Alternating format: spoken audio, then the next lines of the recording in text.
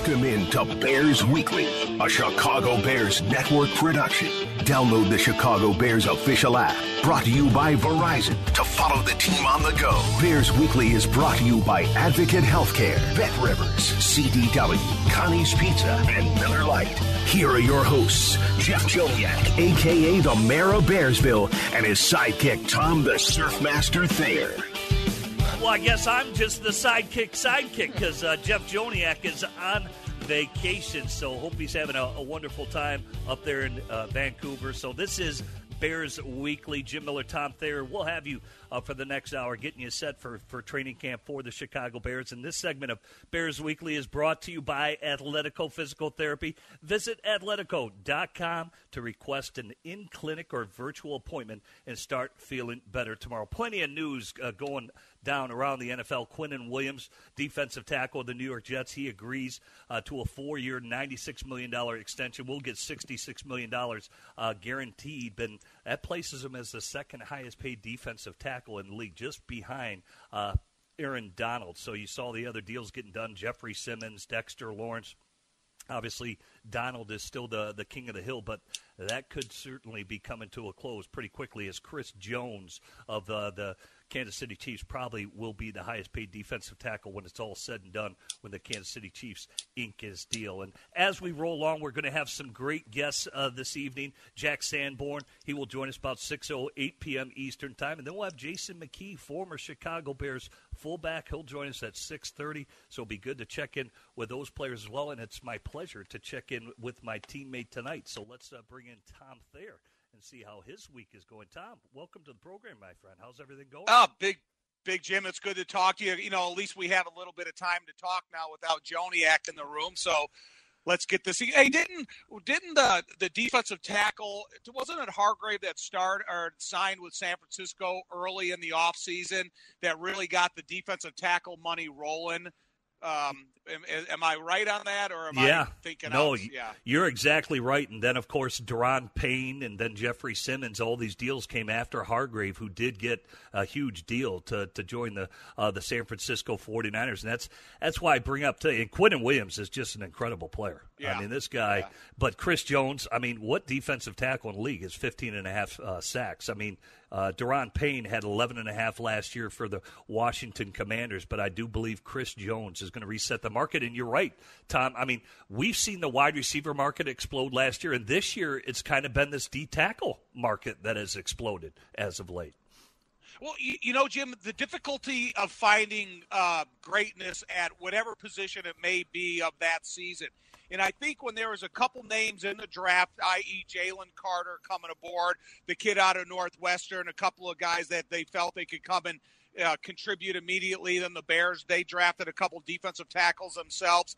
But the veteran free agents that have a little body of work already on video where these guys can get a break a breakdown of how they would fit into their system. So, hey, I, I, I know the Bears went and you know they got Justin Jones. They drafted three defensive tackles. They have the other guys they brought along in free agency. You know, if there was if you if if Ryan Poles could go back to his Kansas City roots and somehow you know maybe you know talk to a guy like Chris Jones, I wouldn't hate it. It would just be a matter of shifting uh, some of the talent that the Bears have on the defensive line around to you know to get the best four defensive linemen on the field for as many snaps as you possibly can. Yeah, and we'll see how it shakes out with these young defensive tackles and if they can carve themselves out uh, some playing time in a rotation as training camp is just around the corner. And, and Tom, I'm, I'm sure you heard the news this week. Obviously, uh, great news is a, a for, you know a teammate of yours, Steve McMichael, and how about Virginia McCaskey among the Hall of Fame uh, semifinalists. Obviously, McMichael played 13 seasons uh, with the Bears. What an integral piece uh, to that 1985 Super Bowl championship defense. All-time sack list as well in at 92 and a half, just behind uh, your buddy Richard Dent. And so, congratulations uh, to Steve. We all know he's been going through a rough time dealing with uh, ALS, but certainly worthy, as well as Virginia McCaskey, as she is the longest tenured owner uh, in the NFL right now as it sits. So, congratulations to both of them. You know what, Jim? Of everything you said, the the word worthy came to mind because they both deserve it because of their accomplishments.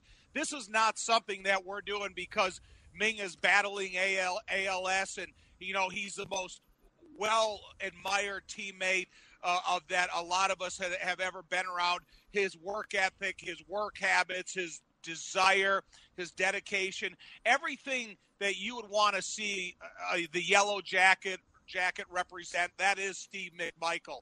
And with Virginia McCaskey, look, there's no one that has a longer tenure of responsibility in the history of the NFL than Virginia McCaskey. And you think how long she's been around the game, some of the influences that she's had in her life, and how many influences she's had around the game of football. Um, yeah, I, I really, I, I, wish and I hope for both of these, uh, uh, both of these guys in in getting in the NFL. But you know, me personally, because I practice against Steve every day, and he brought it every day, and he would tell you, "Look, I'm going hard today, so you better, you know, put air in your helmet and tape your ankles because that's the way we're going to go to work today." And um, in terms of just the player of Steve McMichael. I admire him so much for everything that he was able to accomplish and everything he did for for the Chicago Bears over his history time. In Misty, his wife has been relentlessly trying to capture the attention of the people that make these decisions in the Hall of Fame because um, I don't know if you got to see when Jarrett Payton was announcing that he was a candidate for Hall of Fame. They had video of it when it brought a big smile to Steve's face. And, you know, um, I think there's a lot of us that would just love to see the. Not, I'm not saying it's a reward because, like you said, he's worthy of everything he deserves. Definitely worthy, and like you said, two and uh, 29 other finalists as well. Steve is in the the senior category uh, where he's a semifinalist, and Virginia Virginia McCaskey is in the contributor uh, category. Like you said, they've got to have a great presenter. Uh, basically, there's a representative that is going to present, have to state the case, and, and hopefully it's presented in the, the right way because it's so important when you get into those rooms because it can become political where those voters say, hey, if you vote my guy in, I'll vote your person in. That type of stuff goes on in, in order to to get people into to where they need to be, but have to have a person really banging the table, presenting the case uh, for you in order uh, to become uh, a Hall of Fame uh, member. As we roll on, we're going to get into the comments this week of uh, Braxton Jones, starting left tackle for the Chicago Bears, uh, saying that Darnell Wright is just a little bit further along at the as a rookie than what he was when he joined the Chicago Bears a season ago. Certainly a fine year uh, for uh, Braxton Jones. There are areas that he's going to improve upon, but really before we go to the first break, and as we'll be joined by Jack Sanborn on the other side, Bears linebacker, just for Darnell Wright in what you've seen, because people think that Tennessee, because he's just a mauler, that they just ran the football. They actually passed the football in that style of offense that the Volunteers. To me, his passing uh, pass protection should be pretty decent uh, from from Darnell Wright. Well, we'll get into that as we roll along. Tom, you can answer that on the other side. As we should be joined by Jack Sanborn, Chicago Bears linebacker, just getting it started on Bears Weekly. Tom Thayer, Jim Miller, keep it right here on ESPN 1000. This is Bears Weekly with the voice of the Bears for 23 years, Jeff Joniak, on the Bears Radio Network. Hey everyone, do you want VIP access to every Bears home game, exclusive seating, sideline credentials, and more are now available? Get the ultimate VIP fan package this season by visiting ChicagoBearsVIP.com. And uh, Jim Miller, Tom Thayer with you. And as promised, we are going to go out to the guest line, welcome in our first guest of the evening. Let's say hello to Bears second year linebacker, Jack Sanborn, to, to Bears Weekly. So, Jack, Jim Miller, Tom Thayer, thank you for giving us a few moments of your day. And really, it was a joy watching you play last year. You get in the, the six starts, 14 games overall, and has everything, I just want to start it out saying, has everything slowed down for you, Jack? You were playing like with your hair on fire when everything was coming at you so quickly. Thanks for giving us a few moments of your night. Yeah, first off, thanks for having me on. I really appreciate it. And um, to go off your question, you know, I think uh, I don't know if it, everything slowed down. I think I was just trying to be me. And um, but yeah, very excited heading already right now into year two, and uh, couldn't be more excited to get going. Hey, Jack, when you consider where you're at this year as opposed to last year, last year you come in, you're a free agent. I don't know if you put pressure on yourself or not, but this year you kind of earned a lot of pressure on yourself because of what Jim mentioned. You played with your hair on fire, you were all over the field. How do you feel from a year ago to right now getting ready for training camp? I think it's just confidence. I think it's more confidence and they always they always say that experience is the best teacher and you know to have that experience especially especially your first year uh, in the league and you know getting snaps getting meaningful snaps i think i think that just builds confidence to kind of first you have to show to yourself that you can really do it and then and then going off of that, then you just try to improve and you know you try to get better. You you understand where you can get better, and you know that's what the game's all about. The game's all about improving uh, week in and week out, and um, yeah, so that's what I'm looking forward to doing going into year two. Well, Jack, you showed up in every category. You got a fumble recovery, you got a couple of sacks, tackles for loss. You hit that category, three hits on, on the quarterback. And what specifically, what areas do you feel you, have gotten better, or even when you went back and watched yourself from a year one and said, "Man, that, that can't happen. I, I got to work more on this." So, what what have you find yourself really honing in on in your mind? Yeah, I think a lot of it is is mental as well. Just you know, understanding more offensive tendencies. You know, trying to just be a step quicker in some cases, and then just getting the ball. You know, that's what that's what uh, Coach Flus preaches on all the time, especially as a linebacker. You know, is one be around the ball and two get the ball, and uh, I think that's one area that I can I can improve on, and one area that as a defense we can improve on. is just you know causing those game changing plays to ultimately you know give the ball back to the offense, score on it as defense, and you know and all that leads to victories, and you know that's that's the end goal and everything. Hey, you know, Jack, you're born in 2000. Heck, we are done playing by the time you were born. But just to kind of analogize our time frame. So I came to the Bears, and I remember my first nine on seven period was going against the A that turned out the 85 defense. You got Hall of Famers all over the place. In my first couple plays, Jack, I was going, I don't know if I can play the game at this speed. It's it's the fat and then and then you get a couple practices underneath your belt, and then you start saying, okay, I can play this sport, but I have to improve. So from your first nine on seven against the first team to then when you got snaps in the regular season, because I didn't get snaps in the regular season till the third game of the year. So how was that transition from day one of nine on seven in full pads to day one of actual game rep?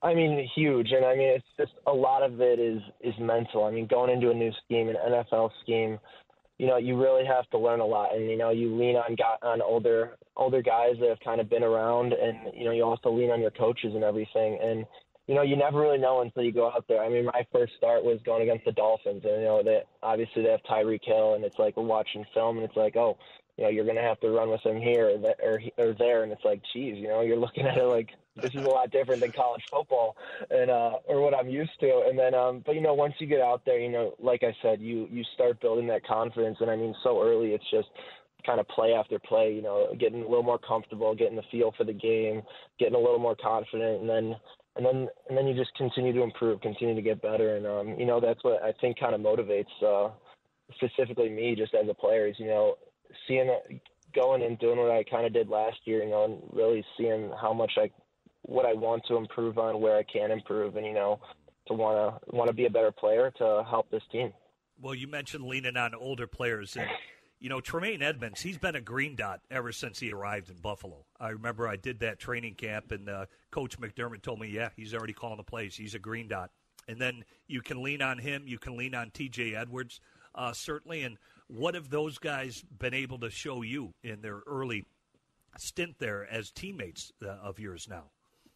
Yeah, I mean, I'm. I think everyone's really excited to have him. I know I am, and yeah, I mean, I was teammates with TJ for a year at Wisconsin, so obviously I'm very familiar with him. Uh, you know, we always kept in touch. You know, even last year and uh, stuff like that. And then uh, just being fortunate to meet uh, Tremaine, being around Tremaine, um, you can tell that you know, both of them want to win. And I think, especially at this stage uh, in their careers, you know, Tremaine's been around. He's done, played really good ball, been, uh, had a lot of success too, both individually and as a team. And I mean, one thing about him is that he wants to win. And, uh, and, you know, I know the same thing for TJ. TJ was at the big dance last year and, you know, came up short, and I know he wants to get back. and I know he, you know, both of them kind of have that fire, and um, you know, they want to have team success and they want to win, and I think you can see that very easily right away. And uh, and yeah, and with that, they have a lot of experience, you know, a, a ton of experience, and uh, some two people that I can lean on, two people that I can learn from, and you know, just really understand, you know, how how to go about it, how to be an NFL linebacker week in week out for for 18 weeks, and um, you know, play not only play you know one one or two games here and there at a high level, but play play for 18 weeks consistently at a high level. You know, I think that's what we're all trying to do, and as a as a unit and, and as a team. Hey Jack, head equipment uh, manager Tony Medlin, did he give you 57 or did you ask for that? Because you know that was the number I wore, and I believe it has some really good mojo in it. You look at the career that Olin Kreutz had and stuff. So I hope you're going to be wearing it again this year. Oh yeah, I'm I'm going to be wearing it this year. There was a little a little uh, unsure because TJ obviously right, wore 57 right. uh, with the Eagles. But I, I TJ I think was kind of being nice to me, and I mean he did wear 53 uh, at Wisconsin while we were there together, and uh, he made he made it very easy. I didn't know how he was going to be about it, you know, if he really fell in love with the number over the past four years. But I just told him that I think he looks better in 53 anyway. So uh, yeah, yeah. Way well, way to po- politically deal with that the correct way. I'm sorry, Tom. yeah, go ahead. Exactly. Go go ahead, Tom. Well, so so Jack, uh, I'm sorry to ask you about 57. I, like I said, I got a soft spot in my heart. For no, number. it's a great but, number, and, and and when people wear, you know, you see 57s. Uh, you know, in the stands or whatever. And I just know that it's probably for you guys, not really for me right now. So uh, I appreciate oh, no. that. Listen, dude, we're gonna see we're gonna see Sanborn five seven jerseys in the stands. Hey, so when you go through an, an exit interview after your first year, and I mean you you the expectations for all of us we didn't know what to expect, but you overwhelm them anyways. So when you went through your exit interview with the the guys up at Halas Hall, what did they did they recommend anything? Did they tell you they would like to for you to be at this weight or this position or anything? Or how how was that final interview? I mean, it was kind of a unique scenario and unique case for me because it was kind of my first time back in the, even in the facility, and about at that time was three weeks coming from uh, my ankle injury in week 15 and that, and um, so it was kind of a a little different uh, interview. Exit interview just because we all understood what the main goal was. And, you know, the main goal was getting healthy, getting my ankle to 100%. And obviously, I didn't do OTAs, didn't do mini camp, just really focused on trying to get that, you know, getting back and getting back to 100%. And, you know, kind of made my off season a little a little different. You know, not exactly obviously what you want to be going through, but I think at the same time, I think I, you know, I've made the most of it, and uh, you know, trying to get better in other areas. You know, and stuff like that. And um, yeah, I think uh, I think uh, everyone's comfortable. I'm I'm very comfortable with where I'm at right now. Everyone else, I believe everyone else is too. And um, yeah, just ready to get hit the ground running here in uh, in a week or so, and um, you know, start start year two. Yeah, well, where are you? Like you said, a, w- a week away. Are, are you antsy? I mean, uh, what do you, what do you do? Like really, this last week as you get your mind right, because the next six months are are pretty much the grind. You're in it at this point. Yeah, I think that's exactly exactly what you said. I think it's you know get your mind right. You know, I think that's what this obviously do stuff with the body. You know, get little little workouts here and there. Um, really focus on the body, just making sure that you get, you're going into camp at you know 100% and uh, your best ability. And um, but like you said, I mean, just get mentally mentally prepared for uh, what's to come, so, so you can hit the ground running. So, through your experience of OTAs and uh, mandatory minicamp when you were out on the sidelines, was there anything specifically you were paying attention to, or even when you went to the meetings and you started watching the video of practices and stuff? Are you a guy that works your eyes from the defensive line to the linebacker position, or is everything uh, listen to the terminology called in the huddle and then just watching it from the eyes of a linebacker? Yeah, I I first off, I like to kind of put my eyes in the eyes of the linebacker. Obviously, you know the call, you get the call, so you can see exactly how how how everyone reacts, how they react. You know, are they in the right spot, stuff like that. Because obviously, I mean, Tremaine and TJ come. It's a new scheme for them. You know, they weren't in it last year, so that was kind of their big thing this off season. You know, if I was able to help them here and there, you know, I, I would do my best. And um, and then, uh, but I mean, I think that gave me an opportunity also to just you know watch the entire team and you know watch even the offensive side of the ball and stuff like that. Um, and because I mean, when you're out there, you're kind of you know kind of almost got a little tunnel vision. You know, you're focused on what you're doing. You're focused on kind of what the guys around you are doing, and you don't really get the the opportunity to kind of you know sit back and you know kind of open up that lens to exactly know what are other positions doing, you know what's the O line doing, what what are the running backs doing, and you know kind of kind of seeing stuff like that. Uh, I think it was very interesting. Obviously, would have loved to be out there um, more than anything, but I think I was able to make the most of it. Well, I, I know, yeah, obviously the linebackers coach Dave Borgonzi, but you know that's Coach Eberflus's position at heart. You know, he played the position. I mean, how much are you, are you getting intel? Like whether it's uh, you, whether it's Tremaine, or maybe even prod your coach a little bit because he's coached this style of defense for so long, and he has played the position. He was a really good linebacker, dude. I don't know if you've ever seen video of Eberflus. He was a really good player. No, and he makes sure to tell us too. I mean, he's in our meetings a lot, and uh, he's sitting with, sitting with us, uh, and he, will tell us exactly how he would have done it and uh, stuff like that. But no, he's he's with us a lot. He's always uh, given his points, him him and uh, Borgonzi, and yeah, just two great ass, uh, assets to utilize and you know to learn learn from it. And because, like you said, I mean, both of them from uh, Eberflus to Borgonzi, uh, both of them have coached very good linebackers. I mean, Sean Lee, uh, Shaquille Leonard, just to name a couple. I mean, both have coached uh, really good players and know know what really good linebacker play looks like, and uh, they also expect that. So you obviously work your best to you know to do it how they want and you know play the best ball that you can. Hey Jack, being a local guy, do you have a favorite bear of all time? I mean, I you know, I you can say it. Nobody will get offended. We all respect the heck out of you no, and uh, I mean, obviously, you know, growing up around is Devin Hester, Brian Urlacher, all those. But I feel like I always had my unique one. I think is you know I always had a big, a big uh, soft spot for Johnny Knox. Loved the way that he, that he played, and uh, you know, growing up, I always wanted. To, you know, everybody wants to be a receiver. Everybody wants to have the ball. You know, score touchdowns. And so, really, kind of growing up, uh, I think Johnny Knox was the guy that you know I I always liked a lot. Well, uh, yeah, I've got a soft spot since yours is 57. Mine's 15, and every time I see a number 15, I, I know it's not Brandon Marshall. That, that's in, it's me in spirit is, is what people are wearing. So, anyway, hey Jack, have another uh, a great year. Looking forward to seeing you at training camp, and and hopefully everything just works out everything you, how you want it to be. Thank you, I appreciate it, and thanks for having me on. Thanks, Jack. Jack Sanborn, and this linebacker group has been overhauled. There is no doubt about that.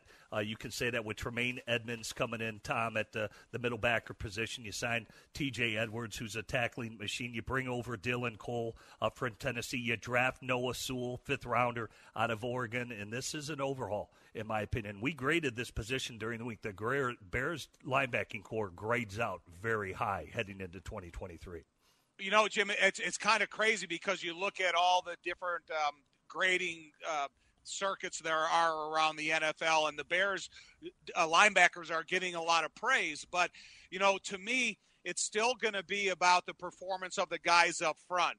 And that's why I was interested to hear about Jack and what he paid attention to during his time off and watching film of that because when you, when you think of Edmunds and you think of TJ Edwards and you think of all the guys and the defensive linemen that they played around, there's been so you know they played um, behind some stud defensive lines, and I think that's going to be the key component here. If this defensive line, whether you're a young guy that's just come aboard in the rookie class this year, or you're a guy like Justin Jones that's been around for a little while now, if they can give these def- these linebackers a little freedom and a little bil- ability to run.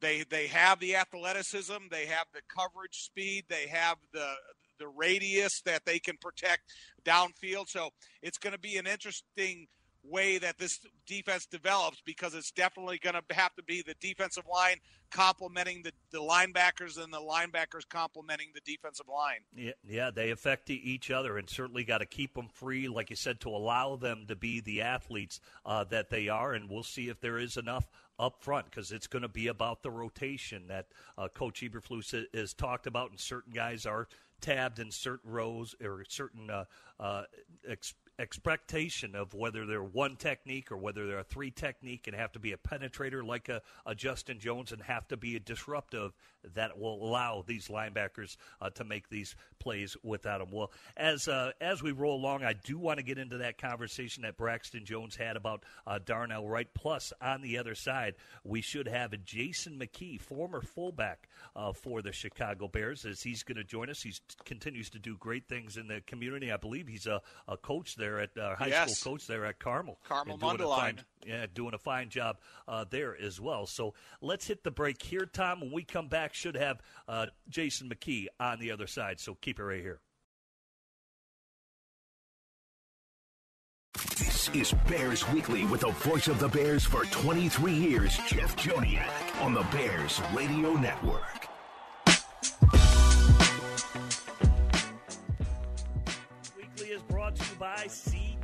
People who get it. Fullback of the Chicago Bears, as he helped Thomas Jones and just led the path for Thomas Jones to get over 1,200 yards rushing. Also helped uh, Matt Forte uh, to log his most yards as a rookie uh, for the Chicago Bears. And now he's doing great things. He's got the, the moniker of head coach now to his resume as well, so of Carmel High School. So let's go out and welcome in former Bears fullback Jason McKee to Bears Weekly. Uh, Jason, Jim Miller, Tom Thayer with you. Thanks for giving us a few moments of your night. Thanks for joining us. Uh, of course, guys. Thanks for having me. I appreciate it. Well, let's let's start there. Now, uh, there's only other word I can call. I always call the head coach. I got to call you coach now. So, Coach McKee, how, how's it feel with that hat on, buddy?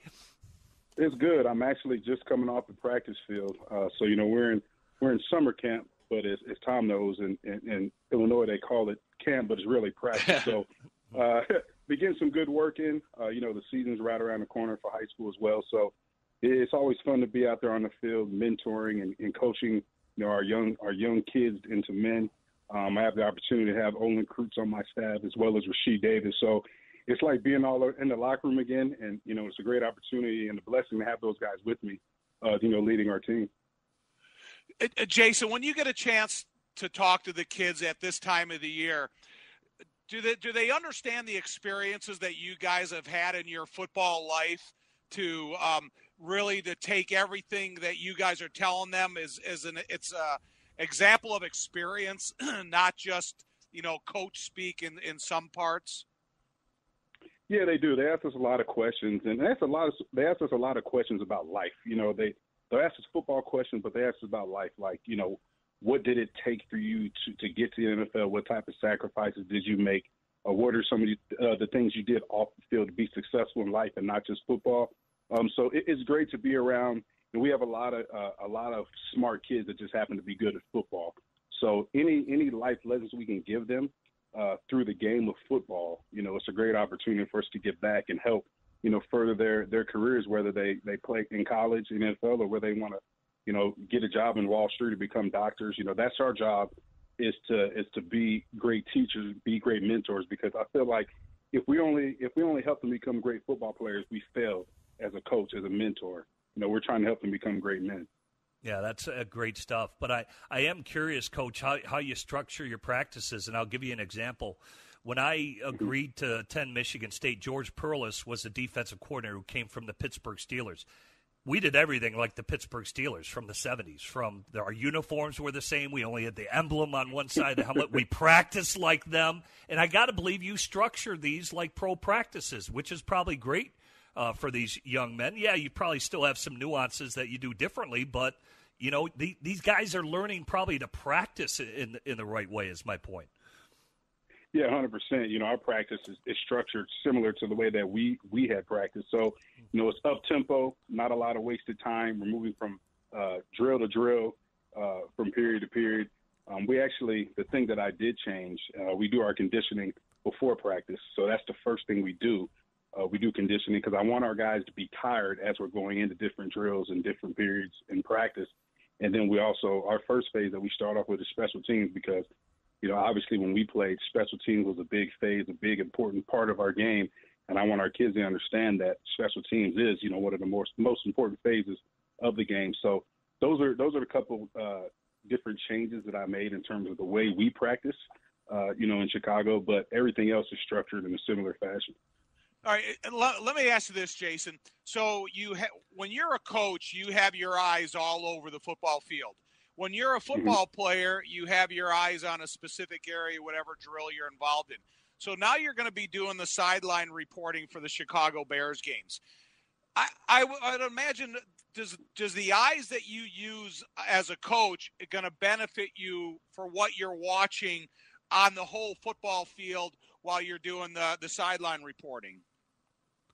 Yeah, hundred uh, percent. Obviously, being around the game as a player, um, I think that helps you, you know, transition into a coach. Uh, but that doesn't make you a great coach. There's a lot of things that go into coaching, especially at the high school level, that that you cannot be prepared for as a player. Uh, for example, you know, when I first started coaching, the biggest adjustment I had to make was, hey, I've got to order helmets. I've got to send helmets and shoulder pads in for reconditioning and things like that. I've got to now order footballs. And when we played, we always had footballs in abundance, but now I have to work with a budget to order football. So, in terms of you know me being a coach and seeing the game uh, through the eyes of a coach now, it's going to help me um, hopefully give the viewers an in-depth, a more of an in-depth look as opposed to just a general sideline report where you're just reporting, you know, certain things that you have to report, report in terms of injuries and things like that. But I'll be able to give them little tidbits in terms of scheme and different things that I see, you know, the Bears doing or the opposing team doing it, uh, doing, and just being able to to translate that in a way to where the listeners can understand it. And you know, I've I've been working on my craft just like a, a coach would. Um, I, I've got a tape recorder, and I probably have about ten made up sideline reports on there already. So you know, my, my wife looks at me crazy, looks, looks at me crazy, and like, "What are you doing?" Hey, I'm doing a sideline report. I got to practice uh, to make sure that you know I'm contributing to the team. You know, I got two great teammates now. Obviously, Tom and Jeff. You guys have been doing this for a long time. Uh, you're great at what you do, and, and I'm, I'm the newest member. I'm the rookie. You know, I'm the rookie on the team, so I want to make sure I uh, hold up my weight. Well, let's talk about the the uh, your eyes as a football player, because much like don't take the foot out of the football don't take fullback out of football. Half right, these teams, right. Jason, don't have fullbacks lining up. What the hell's going on? I mean, thankfully the Bears still do, but half the league really doesn't even have a fullback right now. What's going on? Yeah, I mean, as we know, Jim, it's a different game. It's it's it's you know it's set up. It's an offensive game when you look at it. It's set up for you know high scoring games. I mean, you look at defensive backs; they can't even touch a receiver. Uh, you know, a lot of times you, you throw that ball deep, as pass interference, is spot foul. So you know, these offensive coordinators are trying to find more ways to take advantage, you know, of the rules that are in place that are really set up for the offense. So, you know, I'm just thankful that during my playing days, the fullback position was a necessity, especially here in Chicago. And uh, you know, having the opportunity to, to block for those great running backs that you mentioned before I before I came on air with you guys, you know, having a great running back room, the Thomas Jones, the Matt Fortes, the Cedric Bensons, the Adrian Petersons, you know, and then to go along with the great offensive line that we had. It, it was th- those were the good old days. So, you know, I'm just thrilled that I was a part, you know, of of a period in time in which the fullback was a position of value. You know, Jason, you're a you're a high school coach. You're going to be working the sidelines in the NFL game. You have to kind of pay attention to all the stories around the league. So when you think about Ezekiel Elliott and Dalvin Cook and some of the other running backs that haven't signed yet or, or got an, an agreement, are you kind of surprised where the running back position is because I, I too I grew up as a fan of the fullback. It's a major part of my high school offense and when I was in college. But then you start reading some of the stories around the league of where some of these guys could end up. Are you surprised there's so much conversation about the running back position um, in terms of some of these guys going forward? Yeah, I am. It is surprising when you look at uh, the talent that's still available. And you know, you look at Ezekiel Elliott, and I know he's you know in his later years, but you look at Dalvin Cook, who I think is still one of the better running backs in the in the league, and uh, you know even Saquon is still fighting to get a new Correct. deal up there up there in New York. You know, it's surprising that the position has been devalued the way it has been. But I think in terms of if you look at it, with the success that a lot of running backs have had coming into the league as rookies, even if they weren't a, a you know a first or second round draft pick, you know later rounds guys that had success in this league you look at Dameon Pierce down there at Houston; he had a big year. Uh, I think that's why you know a lot of GMs and a lot of teams are devaluing it because they say, you know what, if we can find a back that fits our scheme, he can be productive. And I think that's what these teams are doing now. They're saying, hey, we don't need to invest a ton of money, you know, in, in, in a lead back or an older guy when we can get a rookie, uh, get him in on a rookie deal, and he can still have the same success if he fits our scheme. Joined by Jason McKie, former fullback of the Chicago Bears, uh, ESPN 1000 Bears Weekly, and and Jason, it's kind of it's it's oddly strange because here your your quarterback is your number one investment, and you're right. I mean, they're actually you got quarterbacks taking carries away from quality running backs right now. I mean, here Justin Fields goes over uh, a thousand yards rushing. You got talented players like Lamar Jackson. You got Josh Allen. Dude, that guy's got not scared of anybody. He's running over linebackers and taking carries away from uh, their running backs. And it just it just seems backwards that you that you put your quarterback like a Jalen Hurts in position to get hurt when you, you would think they wouldn't want to run them as much as they are right now because they're taking carries away from quality running backs.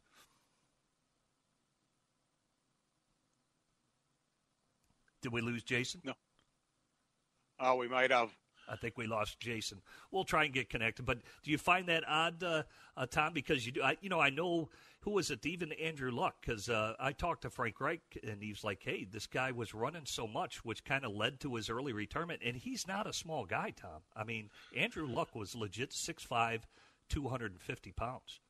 And, yeah, uh, you know, you, you know, one thing about it, Jim, is you you look at the just the upgrade and the talent that you play against, no matter what position that you're going to play throughout your NFL career. If you think that you're a quarterback that has great escapability, i.e., RG3, you're going to have great escapability until someone gets in your way. And then you're going to feel that type of punishment. And if you feel it repeatedly, it's going to take a toll on your career in the long run. And I remember not to not to hash uh, Michigan State product, but I remember looking at Tony Mandarich when he was coming out because I was in the NFL at the time.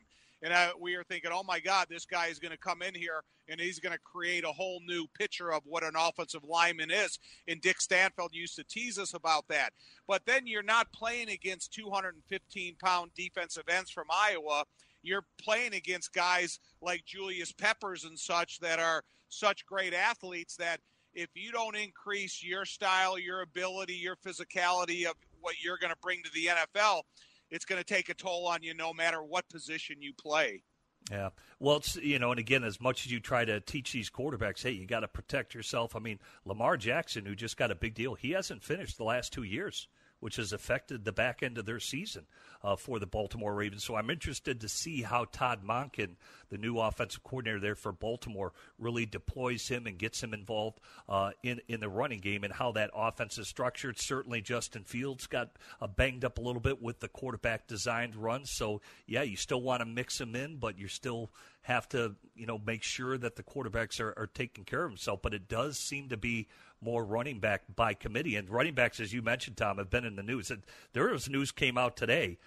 I don't think both either Josh Jacobs of the Las Vegas Raiders or Saquon Barkley, I, I doubt they report for training camp for either of those teams. They will not sign their franchise tags. And realistically, would they even play in the preseason games? Would they subject to those guys to getting injured? I doubt it. I bet, you, but I bet you they show up and they'll be in there for Week One for those respective clubs. Your thoughts?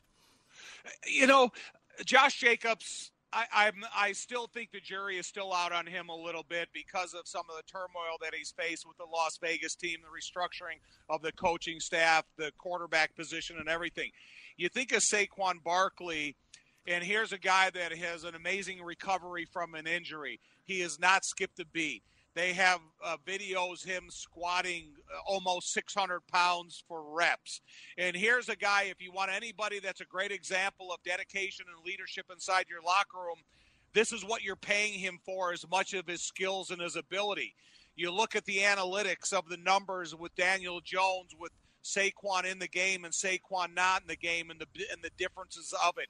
And you just paid him an enormous salary, the quarterback position, to be the quarterback they want him to be when Saquon's on the field. So, um, you know, I, I pull for these guys that have shown what a model citizen they are in terms of speaking in football terms, and um, I, I think for what he's um, what he's dedicated himself that he deserves uh, the, the, money that he wants and he's asking for. And I think ultimately, uh, Daboll, the, the head coach up there at the Giants, you're a better team with a Barkley on it than if you're going to get a disgruntled Barkley that is going to have to make some business decisions along the way to make sure that he's fit and ready for whichever team he goes to if it's not the Giants long term. Yeah, and it, the, unfortunately, the market has plummeted since when the Giants gave that offer. Of basically, it was a two-year, twenty-six million dollar deal uh, for for Saquon Barkley, and leading up to, to training camp, certainly the frustration of both camps uh, now suggesting that they won't show up, uh, that the market is just not there, and I don't think those teams are going to budge. But I don't think they're going to hold out till week 10, which they have every right to do. Uh, but I doubt that they do, as they both will be playing under the franchise tag once they sign it uh, for their respective teams. Well, let's hit the last break here because, as promised, Tom, when we come back, we are going to get into that conversation of Braxton Jones, his thoughts on uh, first year offensive tackle at the right uh, tackle spot. Uh, Darnell Wright will get into that conversation. So keep it right here on Bears Weekly, ESPN 1000. This is Bears Weekly with the voice of the Bears for 23 years, Jeff Joniak, on the Bears Radio Network.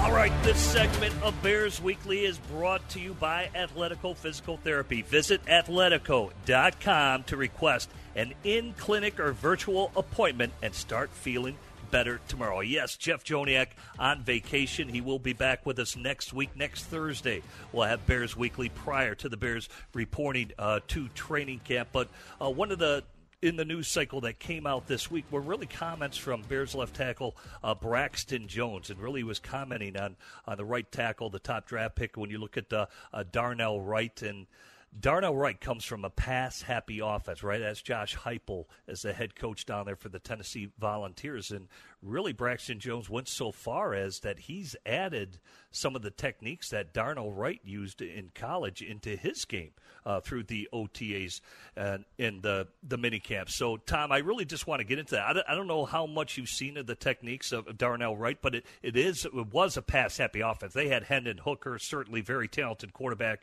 who the Detroit Lions uh, selected in this past year's draft. For but as big as a man that Darnell Wright is in terms of his kick steps and his movement ability, and, and Braxton Jones, we know he's a, a really good athlete as he heads in uh, to year two in areas of concern where he needs to get better. Wanted to hear your comments uh, on what you thought about what Braxton Jones uh, had said to the media you know, Braxton Jones, he lives in reality. He understands what he's saying, and what he says, if you listen to it, it has a powerful meaning about what you need to do as a football player, how you want to develop to get better, and how you want to improve your specific craft.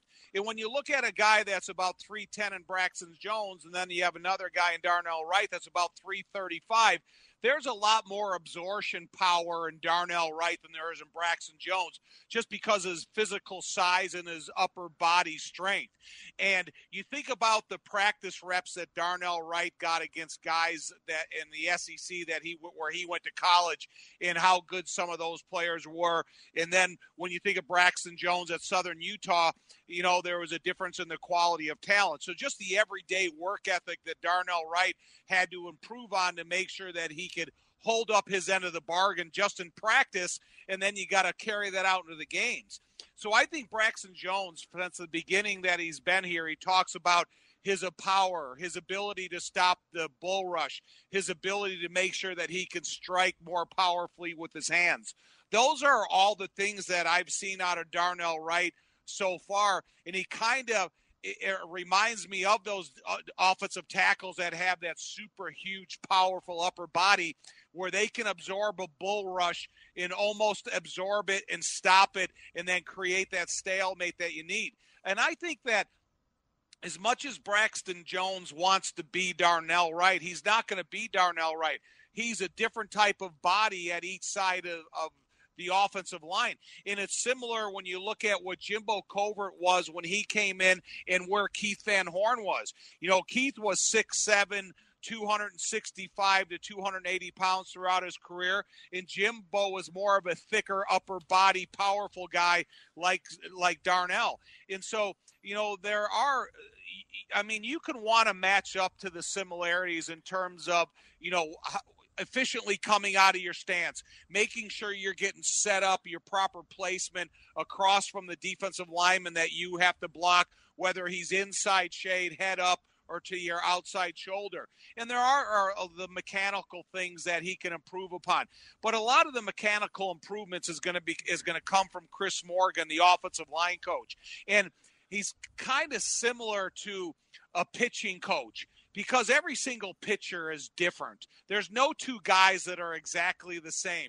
Their approach at the mound, how they deliver the ball, in what is their strengths. And when you think about an offensive line coach, there's a lot of similarities in that. Every single offensive lineman is a little bit different yeah. than the guy next to him. So well, that Tom, offensive line coach has to coach the yeah. best. Yeah, and that'll have to do it. As we need to thank Jack Sanborn, Jason McKie, who joined us, producers uh, Kendra Smith and Sean McGraney. Hey, we'll be back next week for Bears Weekly right here on ESPN 1000. Thanks for joining us. Thank you for listening to the Chicago Bears Network presentation of Bears Weekly, hosted by the mayor of Bearsville, Jeff Joniak, and Surfmaster Tom Thayer. Podcasts are available on the Chicago Bears official app, brought to you by Verizon and Apple Podcasts. Bears Weekly has been brought to you by Bet Rivers and Miller Lite.